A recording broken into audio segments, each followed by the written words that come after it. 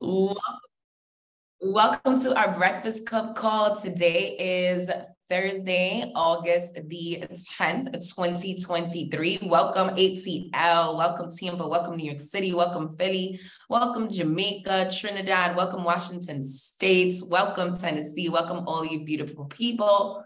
Greatly appreciate you guys on here with us today. We're going to give you guys like one more minute. I know some people said that they were having some technical difficulties getting on the chat, which I'm not sure why.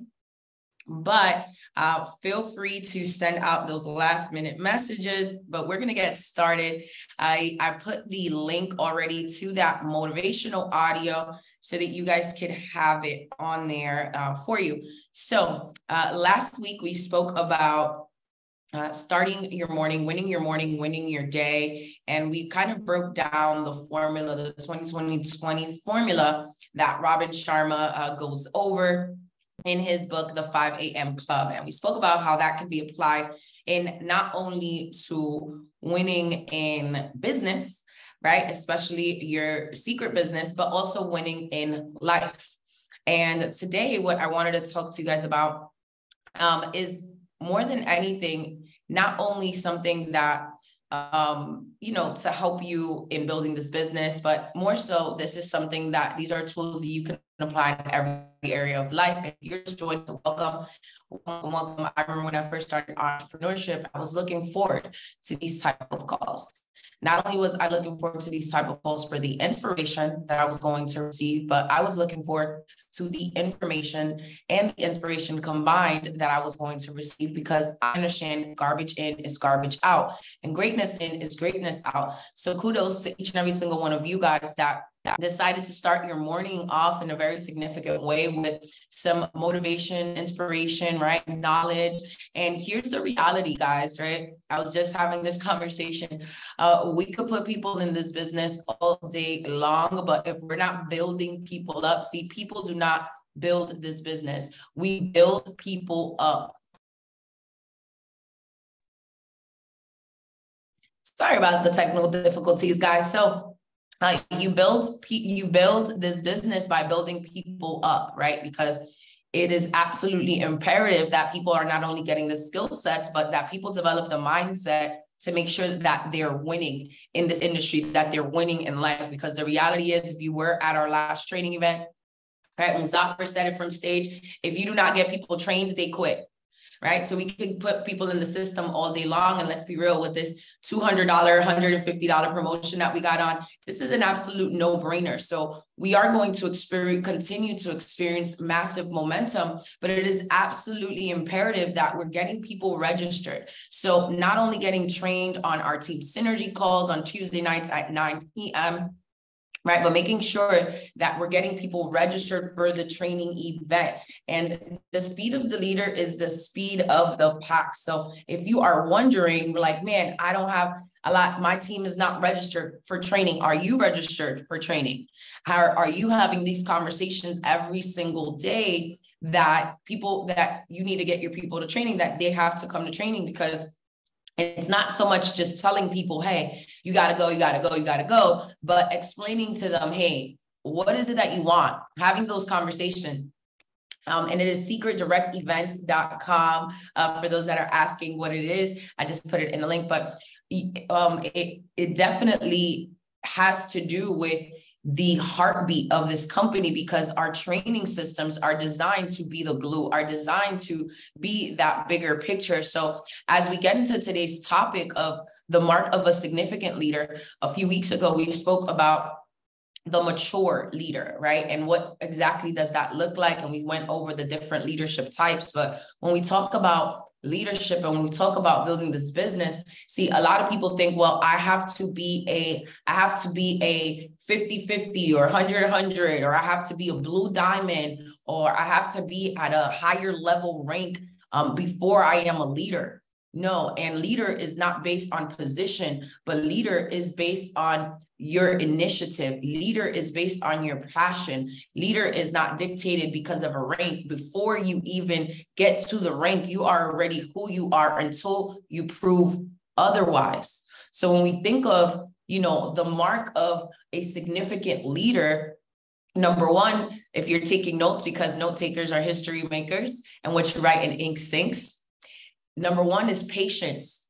See, the question is isn't will I wait? It's how I wait. And what I mean by that, so we talk about building this business, it's a very simple system, right? It's I see, it's inviting people to see the information, it's sharing the information, it's enrolling people, it's educating people. So the reality is why these calls are so significant in building your leadership and building your business is because this is what allows you to be impatient with your activity, right? And patient with your results. Um, and I feel that it was like, I think it was Jesse or uh, one of our leaders that said this at Trainers Academy that is like, you want to be married to the process, but divorced from the results. Married to the process, but divorced from the results because it is more so than what you're doing or who more than what you're doing in the process it's more so who you're becoming while you're waiting how will you wait? It's not will you it's how will you wait? Will you wait with an attitude of gratitude? Will you wait with an attitude of expectancy? With you will you wait with an attitude of perseverance? Will you wait with an attitude of hope? Will you wait with an attitude of knowing, hey, if I have to do 10 more today, awesome. Well, see, here's the here's what happens. You start building this business, right? You get some traction, you put some people in, and then you're like, my people aren't doing anything. My people, my people are, they're not where we we did a fast start, we showed them how to invite, but you know, this person is doing this, but this, you know why? Because you're not getting them trained you know why? Because we're not having those conversations that are necessary because it's beyond it's beyond business, but we have to develop a bond that is beyond bank with people. And the way that you do that is building those relationships, but more than anything, building people up. And these calls, whether it's our Wow Wednesday calls with Jared or it is our team synergy calls or our breakfast club calls with Josh at 7 a.m. on Tuesday. We have calls every single day that are there to help you grow because it's not so far so much of can you put people in? Of course. But the question isn't will I wait? It's how will you wait? Are you going to be focused on those activities that you want to expand? Like right now, everybody should be focused on getting people to the next SRT, to the next regional training event taking place in a city near you September 16th. Especially if you were at Freedom Academy and you're like, man, I wish I would have got that drone. Man, I was on stage and I want that feeling. Or maybe you weren't on stage and you're like, you know what? I deserve that feeling. It's time for me to get that feeling. So, how will you wait? Are you going to wait working? Are you going to know that success is a contact sport and right is due every single day? How is it that you're going to wait in the season that you're working? Because patience is a virtue. However, it's being in, in that season that you're patient. How are you going to be working on your daily activities that are going to better not only your business, but better every aspect of your life, your faith, your family, your fitness, your fortune, your fun, because all of those things matter.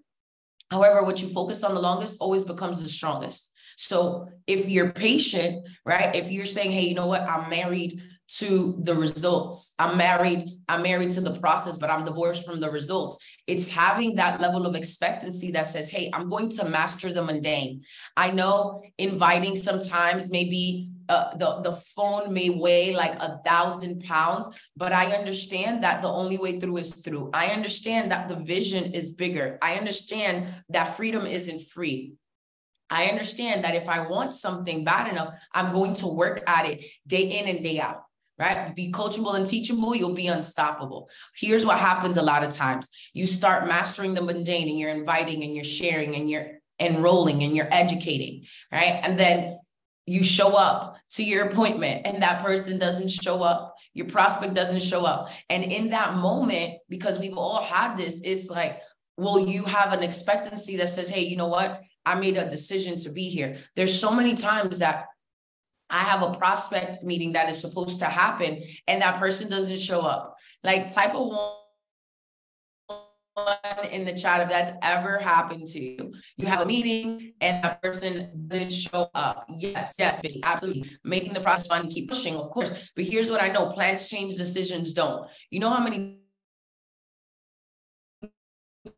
times that's happened to me? Because you can never, ever, ever compare high, high tech with high touch right? But I also know that it's a transfer of energy.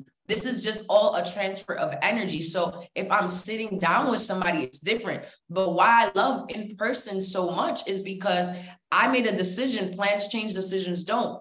So the plan may have changed with the prospect, but guess what? I'ma still get, I'ma still be in line and hi. I've met somebody at a coffee shop, just meeting them in line, or I'm sitting down doing work at the coffee shop that I said I was going to be at. Doesn't matter if the prospect didn't show up. Okay and I start a conversation with the person sitting next to me, or because I am patient, right? And I am married to my process and I am divorced from results. I'm up the phone I'm saying, who can I call? Who can I call? Who how who can get on the phone really quick or get on Zoom so that I can make the most of this of this time? Because the truth of the matter is that your mindset is where your mind sits. And a lot of times, what causes us to be, causes us not to be patient is not getting the result that we want. And it's not necessarily only not getting the result in our business right it's not it's not getting that that result in the in the moment how will you how will you persevere how will you pivot in in that specific moment that your prospect didn't show up, that the conversation didn't go as planned, that the demo wasn't at plan, that the spa party you had inviting for, you had 15 people confirmed and three people showed up.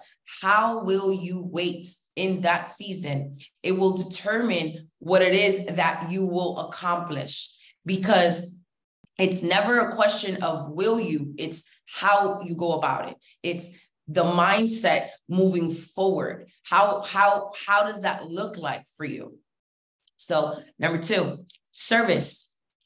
So when we think of significant leadership when we think of significant leadership that is impacting people's lives that is serving it's don't make service an event make it your identity so I know you're like, well, what does that mean? Do I have to go be in our secret service team? Is that is that what you're saying? I, I need to make that part of my identity. No, I'm not saying that. However, if you would like to, that is a beautiful way to serve in our community via our secret service agents. Absolutely love them. They are the heartbeat of they are the heartbeat of our company, right? They they make such a world of difference. But what I mean more so by that than anything is how are you helping your team? How are you helping your team grow? See, whether you just got in yesterday or you got in a month ago or you got in a year ago, when we talk about not making service an event, but making it your identity, do you have that willingness to serve? Because if you are too big to serve, then you are too small to lead. Why is that? Because it's about the collective, it's about serving the greater good. It's about us empowering and encouraging each other. But hey, if you know somebody puts in the team chat, hey, I need a 3PV. And if you don't know what that is, that is a third party validation, right? Or a three way call or a testimony. In 15 minutes, I'm showing a video. Are you free? Now, it doesn't mean that you're going to be free every single time, but if the need does arise, are you able to serve? If the call is taking place, are you the leader that is waiting for the leader to post or promote the calls? No, be the person that takes initiative. The Tuesday night calls are every night, Tuesday night at 9 p.m. The Breakfast Club call with Josh Valentine is every Tuesday morning, 7 a.m., like clockwork. Our Breakfast Club call on Thursdays at 8 a.m. every Thursday. So are you the person that's making it an event or is making it your identity? Because the speed of the team is the speed of the leader. So people will never, especially brand new people getting started, they're not going to do as you say. It's just like kids. They're going to do as you do. So when we talk about making service, it's having a bigger mindset. It's saying, "Hey, cool, we did we did your we did your Zoom launch. Well, we did your fast start because the system inviting, sharing, enrolling and educating, which means we invited somebody to see the presentation. We shared the information, whether you shared with the push play, whether it was a webinar, whether it was a demonstration of products, whether it was you having a conversation, however the case may be. Now, we enrolled you means we put you in the system, right? Put them in the system and we're educating you. So we got you, which means we got you registered for the next training event right? Which means it's not you saying, "Hey, I'm going to register." It's you walking that person through through it. It's you saying, "Hey, when can we carve out 10 to 15 minutes for your fast start? When can we carve out 10 to 15 minutes so that you can meet the rest of our leadership?" Right? Because here's the reality. If it's about connecting everybody to the team, but it's also showing people who they have access to what they have access to in this community. Because if people think that all they have access to is you and the person that showed them the information, they're losing because this community is way bigger. And this is why it's so important that you're making these connections and you're making and you're building these relationships and you're continuously building people up because people always want to see the bigger picture and this is why our events are so powerful. The events is what has allowed me to build relationships. Somebody asked me the other day like how did you get jeff Balk on a three-way call? Well i've known jeff for about 10 years but also i met him at a training event right? And when leaders start seeing you and you start building relationships it's like a lot of people go up to these leaders and and try to start a conversation and start building a relationship. But you know what who the leaders pay attention to the people that are making things happen, the people that say, hey, I'm going to do something and actually get it done, the people that tell them, hey, I'm going to get to this next square bonus and you're going to see me on stage at least five times at this next event. I promise you, because every I'm going to be on that leaderboard. The people that say that they're going to do something and actually go through and execute that, do it. See, here's what I do know leaders do not miss training events. Leaders do not miss training events. If training is a negotiable for you, if training is an option for you, freedom is not a must. Now, it's different. If you have a family emergency or you have a significant milestone in your family and this is something that you just can't miss, like I get it. But if you are making that a pattern of missing training, how are you being of service to your people? Because again, People don't build this business. You build people up and then they build this business. And the training is so important. And when we're talking about making not making service an event making it your identity it is knowing that you're leading people in the right direction because it's beyond leading people in the system leading them to a fast start leading them to invite leading them to get in the system leading them to a trip is how are you going to help people get free how are you going to help them get free it's by growing this because success is, is a game of inches. It's what's going on in between ear to ear, right? What's going on up here. And then the disconnect from your heart to your mind. Because whatever the mind can believe and conceive, it will achieve. But how are you making service your identity each and every single day when it comes to this business? Are you say, are you being person that's like, hey, I'm going to make sure I'm leading. I'm going to make sure I'm not only getting people started, I'm getting them to training. I'm being a helpful hand. Hey, we did your Zoom, we did your Zoom launch. Let's go ahead and do your in-person launch because high tech does not compare to high touch. There is a 99% closing ratio. 99% closing ratio when people are in front of you. Like I 99% closing ratio when people are in front of you versus when they are online. Why? Because sales is a transfer of energy. And people will tell you all day long, like, oh, this is not sales. Let me tell you something. I ain't selling nobody on a $200 trip. I ain't selling, I ain't selling nobody on world-class skincare. I'm not selling nobody on world-class nutrition. I'm not selling anybody on the ultimate lifestyle club. But guess what? I'm selling them on on me because here's the three things that people ask themselves when they see the information.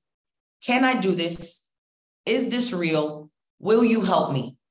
So you're you're selling people on your energy. You're selling people on your belief. You're selling people on your vision. So when you're talking about making service an identity, are you casting the bigger vision? Are you painting a picture that people can see that this is beyond travel, that this is beyond business, that it's beyond nutrition, it's beyond skincare, right? This is building a community of health and wealth but this also is allowing you ownership. You know what?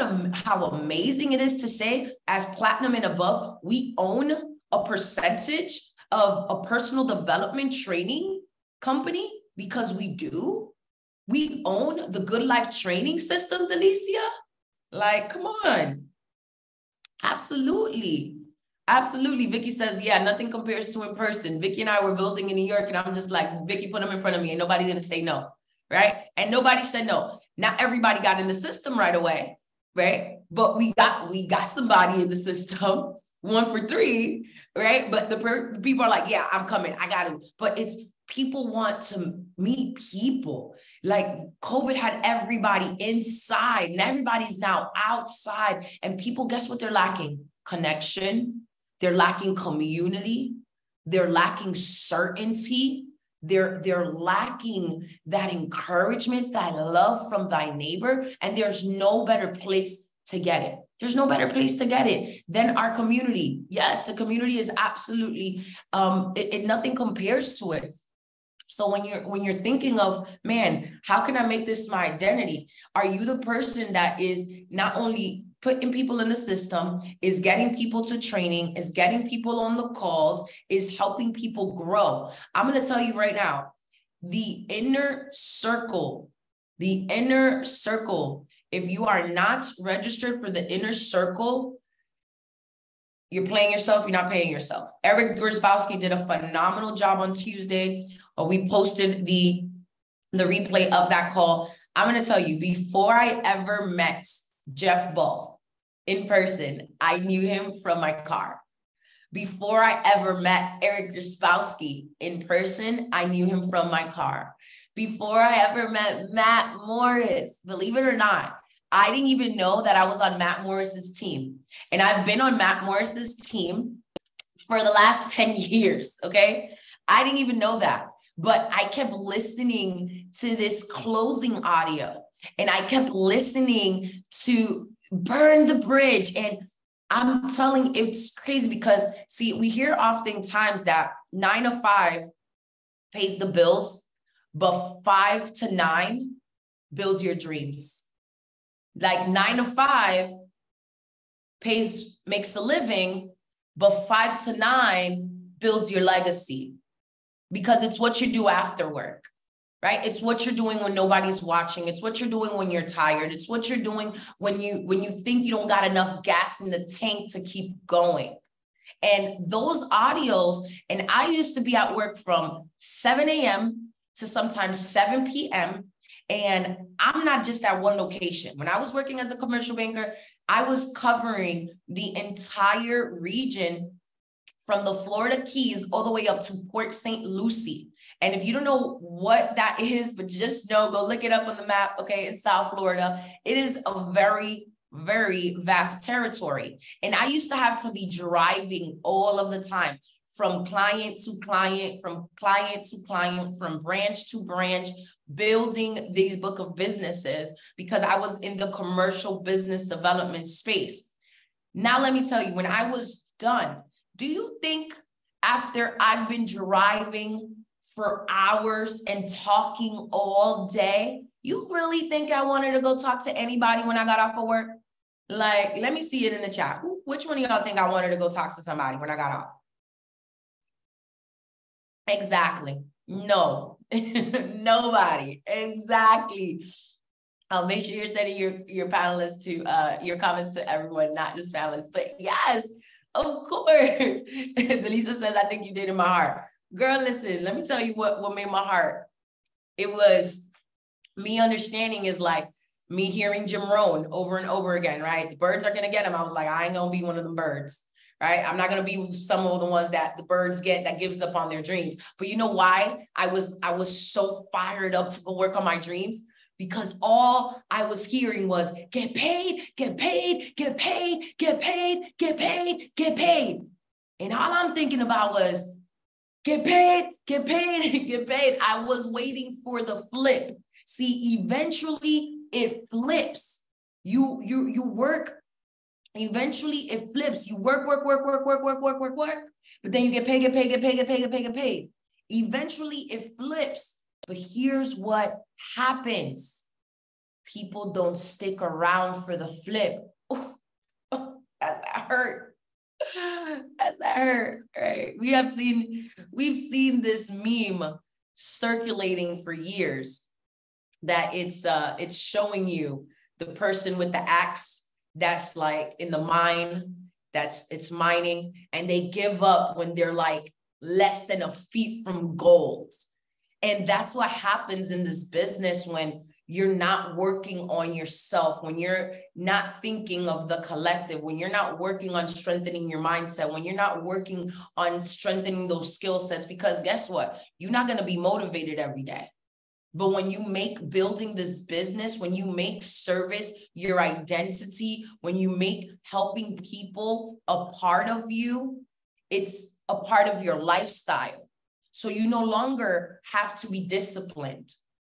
You don't you no longer have to be in the mood to go do a presentation or do a demo or pick up the phone because it's service is not an event. It's part of your identity as a leader. You have a bigger picture. You know you're not going to stop until everybody is free.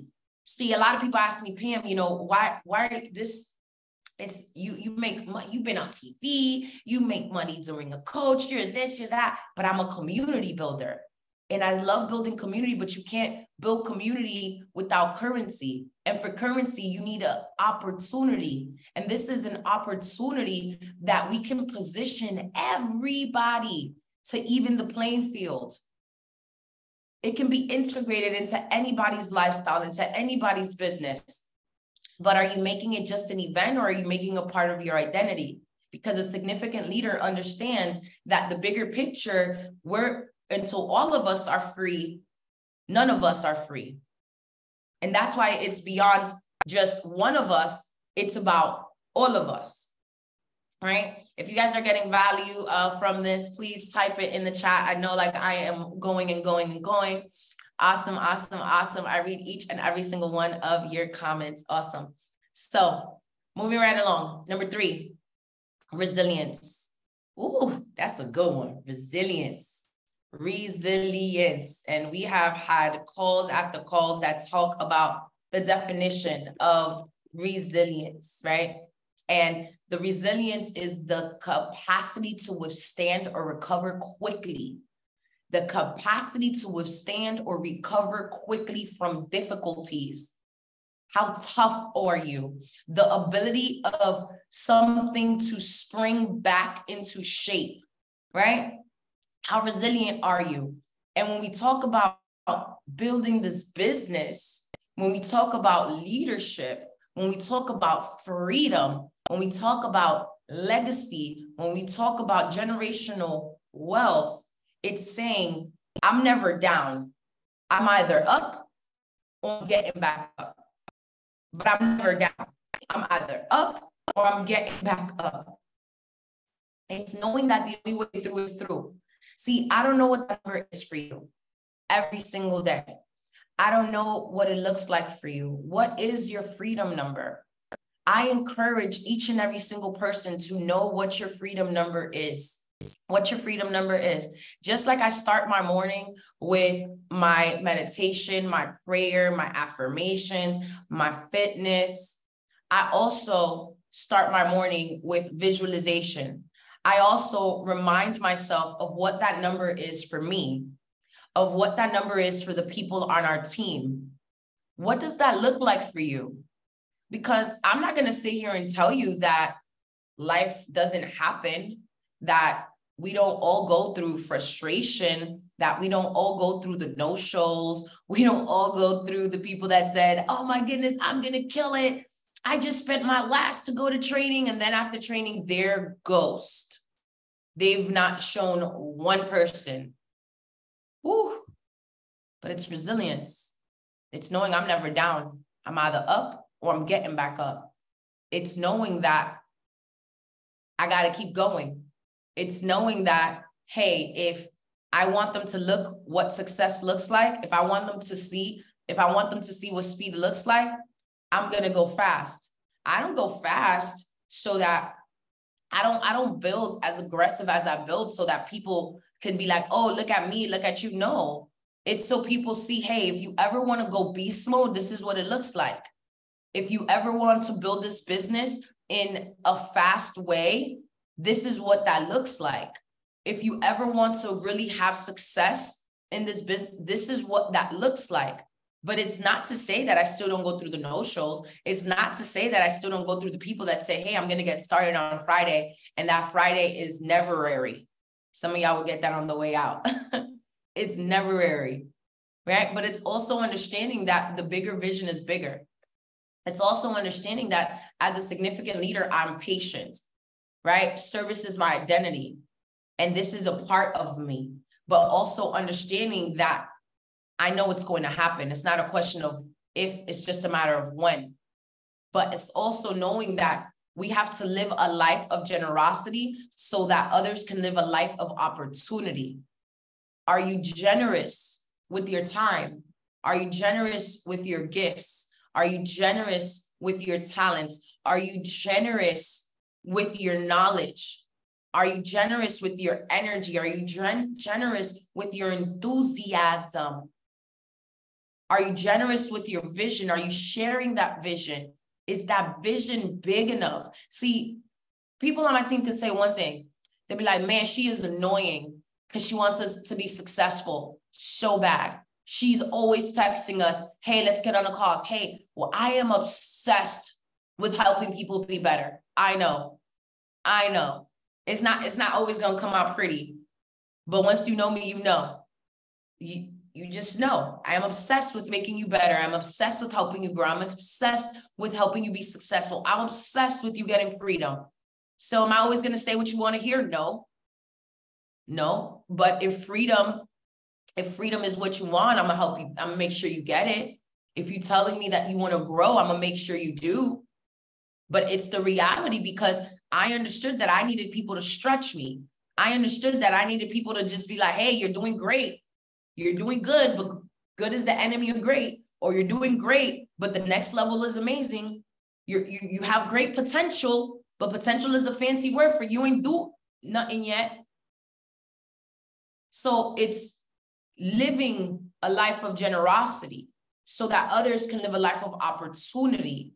Because when we think about this opportunity, it has to be seized within the lifetime of the opportunity. See, one of the things, uh, and it's interesting, I was on a podcast last week uh, with one of my childhood friends, Ola. He's actually on the call right now. And it's interesting because we were talking about, and somebody asked me on there, well, how does it compare to to uh, this club, and how does it compare to that club? And I really just wanted to say, you can't compete where you don't compare. But I said, you know what? The community is like no other it's ownership. See, there is nothing in this world right now that you can say, oh, I'm going to join and every year I'm going to pay a $100 and I'm going to get a complimentary an anniversary trip or a vacation. Nothing in this world. There's nothing, there's no other opportunity in this world that say, hey, I'm going to give you access to this family that is not only going to help you build your secret business, but as you build your secret business, they're going to give you ownership in a personal development training. They're also going to give you ownership in investments that we're building, like a wellness resort and spa that we're building in Arizona, like an oceanfront resort in Puerto Plata that sits on 200 mile beachfront. Listen, like what type of opportunity do you know that's giving people access to this next level ownership and community building? Because if a business, all it does is make money, that's a cheap business. If all a business does is make money, it's a cheap business, ladies and gentlemen. Absolutely. Because you got to think of a bigger picture. You think you think I'm working this hard just just for this generation? No. No. Absolutely not. But I understand that it's me living a life of generosity so that others can live a life of opportunity. How are you seizing this opportunity within the life of the opportunity? Because significance is greater than success. See, and as we wrap up this call, I want you to reflect on some of these things. We go as we finish off this week. Are you complaining or are you preparing in this season? Because oftentimes we can lose sight of the why on the journey of the what. It's happened to me before too. You lose sight of the why on the journey of the what because more than more than the significance more than the the accolades more than the stage recognition positive growth or any type of external milestones we're called to lead from a place of significance we're called to lead from a place of love we're called to lead from a place of vision we're called to lead from a place of service because without service, there is no significance. But when your purpose becomes about serving others, you don't waste time with your position. Your titles will come and they will go, but your mission, it always remains the same. Love people, build vision, leave an imprint, leave an impact.